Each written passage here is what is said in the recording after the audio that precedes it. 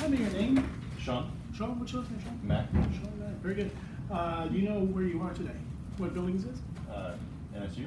MSU? Very good. And about the approximate time, do you think, of the day? About one, one o'clock? About one o'clock-ish, that's fine. Exactly not perfect, but we know that he's all within the realm of, you know, of, um, the exam. So I'm gonna say that he's alert and he's oriented times three, could I confirm that? His speech, dress, and behavior were very much appropriate. Um, listen, I want you to, um, I'm gonna test something called long-term memory and stuff. I want you to name the last three presidents in order for me. Okay, we got Trump, Obama, Bush. Yes. Very good. Now I'm going to give you three words to remember, and I'll ask you what those are later on in the exam. Um, those three words are going to be cat, tree, and ball. Okay. Can you repeat those to me? Cat, tree, ball. Good. So um, I just checked his short term, right? So here, probably by the time I'm done with the cranial nerves, about five minutes will pass, and then I'll go ahead and I'll ask him uh, those questions again, or those three objects. Uh, how about, can you count backwards from 100 by three for me? 100, 97, 94, 91, 88. Very good. Um, see, I just kind of went, once he made that big transition from the 90s into the 80s, it took a little bit of, of uh, intellectual function, so we'll stop there with that. Very good. So the cranial nerves, I want to go through the cranial nerves with you folks just one more time. We're going to test uh, cranial nerve 1, right, which is olfactory nerve. Before we can test the olfactory nerve, we need to make sure it's patent. So if you can put your finger, right finger on your, okay, left finger on your left nostril, breathe in, and the other side. Good. Now, what I want you to do is close your eyes for me and tell me what you smell. Anything with. Pineapples. Very good. And the other side, keep your eyes closed. Pine cones. Pine cones? Absolutely. So, uh, remember, don't use alcohol pads or ammonia or anything like that for this. Cranial nerve two is visual acuity, right? We're gonna test visual acuity once again. Remember the old 14 inch string and then we'll drop them you hold the card. Hold right there. Now cover your left eye with your left hand. Yep, cupping it. Now I want you to read the smallest line from left to right. 4, 2, 8, 7, 3, 9. Very good. Switch hands for me. And cover your right eye. Good. Read that one the opposite way. 9, 3, 7, 8, 2, 4. Okay, and now I want you to use both eyes. 4, 2, 8, 7, 3, 9. Very good. So uh, visual acuity, OD, OS, and OU is 2020. Thank you, sir. Very good. Um, now I'm going to have the, uh, I'm going to test those cranial, uh, the uh, extraocular movements, right? The cardinal gaze positions, right? Um, I want you to just follow my pen for me, right? Just keep your head real still. Just use your eyes and follow my pen, okay?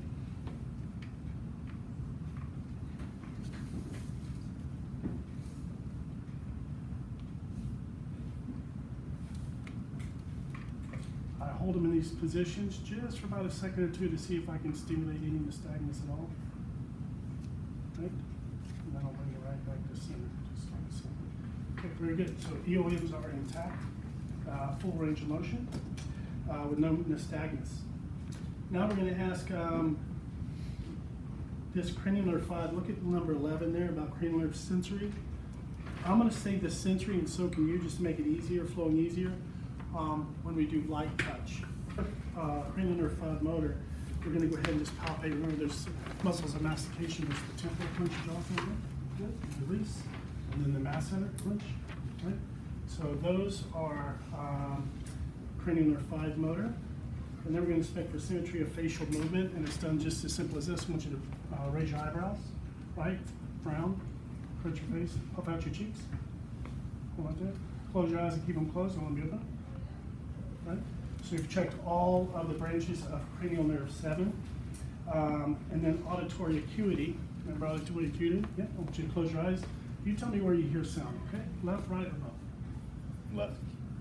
Right. Both. Very good. So that is cranial nerve eight. Cranial nerve nine, right, we'll be testing for the gag reflex, which we'll gonna pass on that one.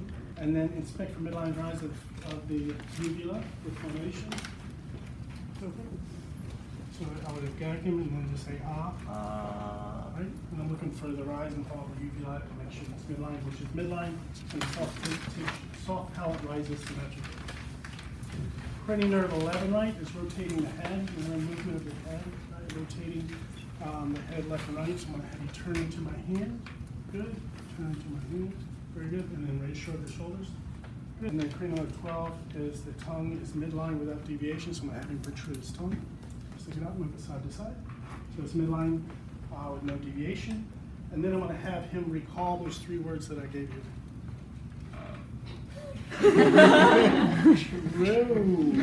True. Cat ball, tree. There it is. So that's all you have to do is just break a tongue blade and you get an actual sharp and a dull.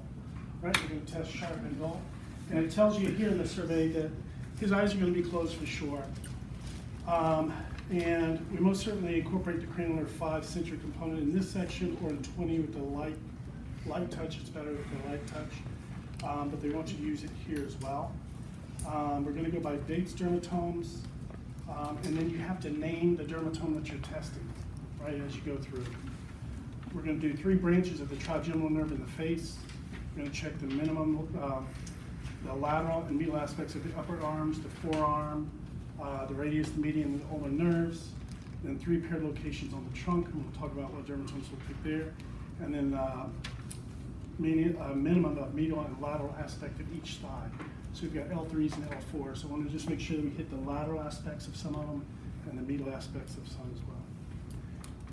Anytime we use a dull stimulus to throw off our patient, right, to change it up, we always follow that same spot with a sharp. And that's about it for the dermatomes. Not too bad. So I'm gonna go ahead and lay back.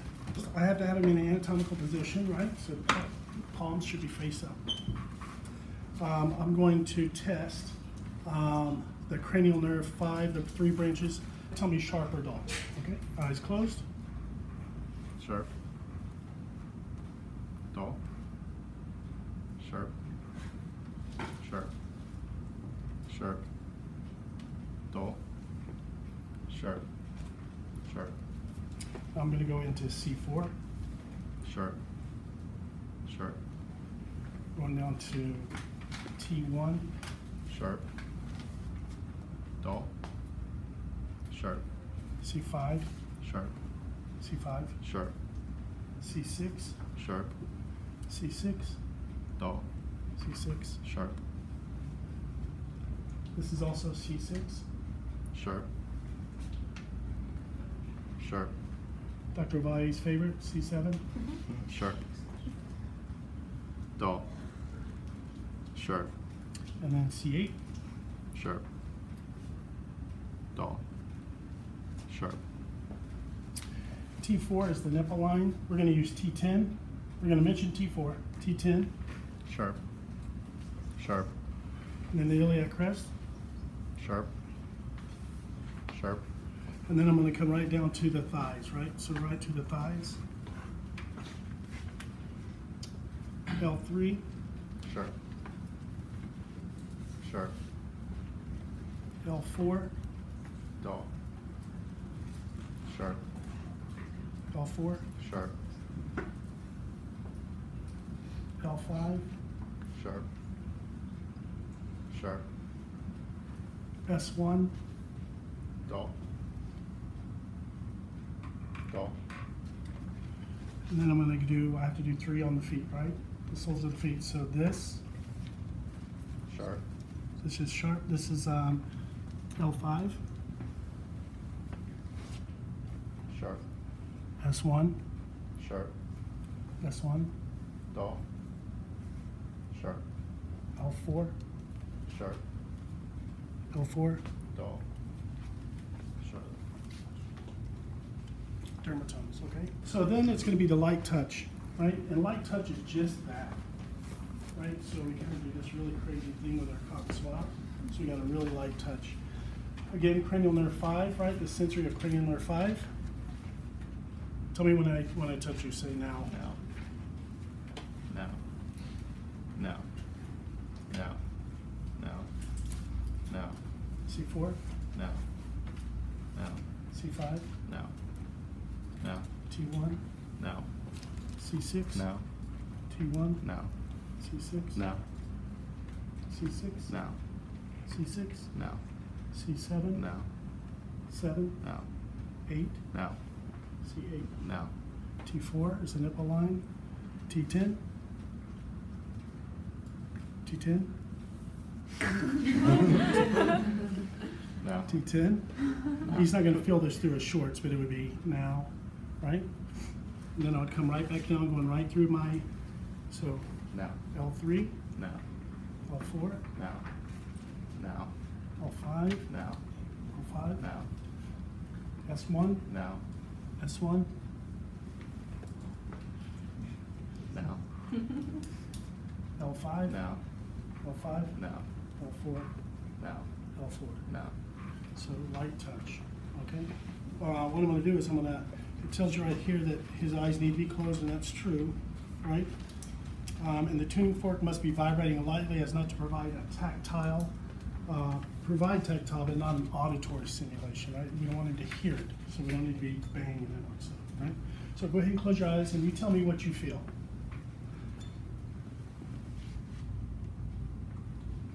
Almond toe vibration. Vibration. And what else do you? Uh, vibration. Good. Toe. Vibration. Right finger. Vibration. Left finger. So vibratory sense. Proprioception, we talked about grasping a finger and toes, right, um, from the sides. So, listen up real quick. You your eyes. This is up, this is down. So I'm demonstrating. This is up, this is down. This is up, this is down. Okay? Okay, go ahead and close your eyes. I want you to tell me up or down. Down. Up. Down. Down. Good. So proprioception. Stereognosis, right? We're going to have them recognize a couple of small things. And like I said, your two favorite things. Your eyes closed. Two favorite things. All right, I'll put something in your hand if you can tell me what it is. Pen light. Pin light. Very good. Keep your eyes closed. Put something in your hand. Tell me what it is. Reflex hammer. Nope. It's a hammer for reflexes. Totally different. So the reflex happens here. See this muscle twitch? It's not that I got this movement, but I actually got a twitch of the muscle. So I'll come out of this side. Do it again. Nice and loose. Okay. Good. That is the triceps. The biceps is here. The rest is on here. I put my thumb over just at the, the insertion of the biceps muscle the tendon. You can kind of feel it right here. I actually strike my thumbnail. And what I'll get is I'll get a twitch here or a twitch in the, in the biceps muscle. So this side.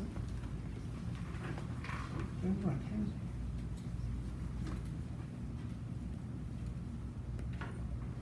Then there's the breaker brachioradialis, right? I like to keep it on just like that because I can feel it in his hand. And it kind of puts his hand in that upward neutral position, about two thirds of the way down the forearm. And you'll feel a twitch in his hand. See, this, see the reflex? Okay, same thing on this side.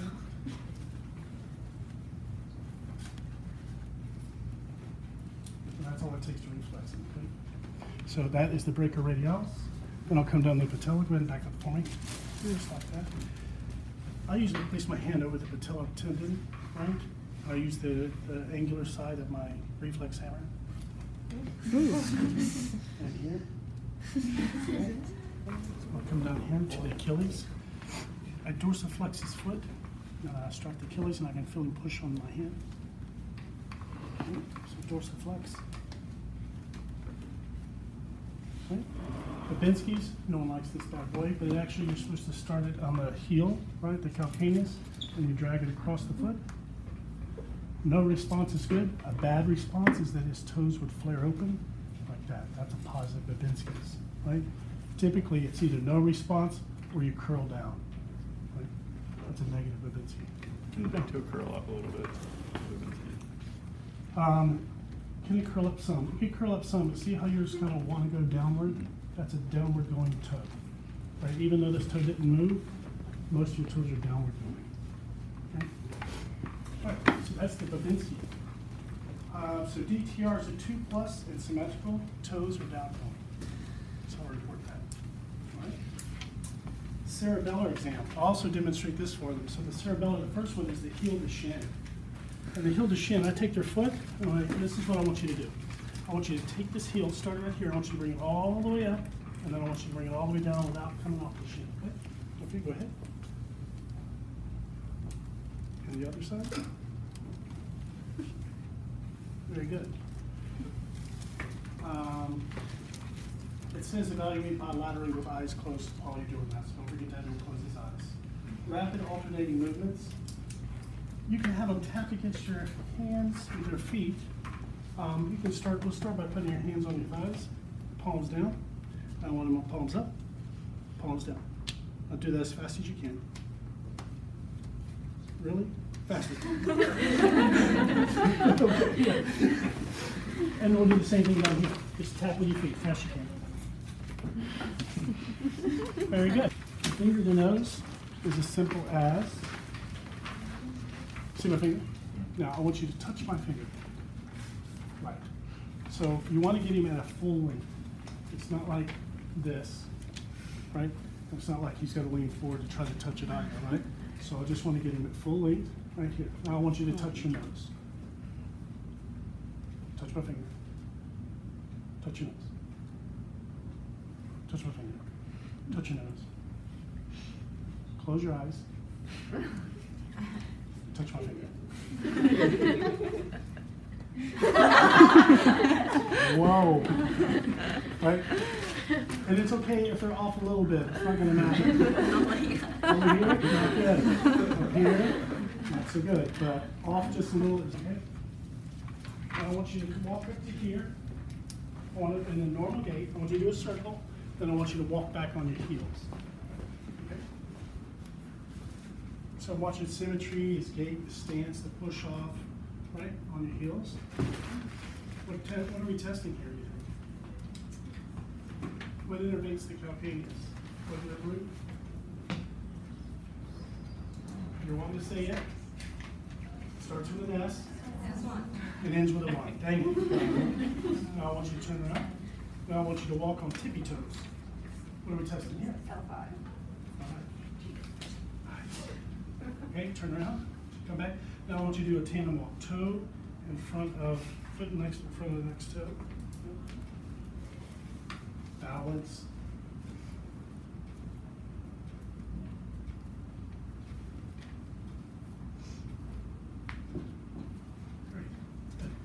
That we have him done here, now let's go ahead and test for the Romberg test. First, I'm gonna have you stand with your feet together, Mhm, just like this, right? And I'll give him just a second to stand there. Right, we talked about visual cues, help us in spatial sense, right? So we want to eliminate that. We're gonna do that with the Romberg tests. So now I want you to close your eyes. Now, when I do have him do this, I kind of stand behind him. Uh, a positive Romberg is he'll start rocking, right? And it'll be from the, it won't, it won't be in the hip, it'll be a whole body. So you gotta be here protecting them, right? So checking the Romberg. You do that for thirty to sixty seconds. We're not gonna hold you there on exam day, but it's a thirty to sixty second test. Okay, arms straight up with palms up, palms up. So now we're in supination. Now we're gonna check for pronator drift. So I'm gonna lightly tap his arm. It should stay right where it is. If it was positive, remember this thing will start pronating and drift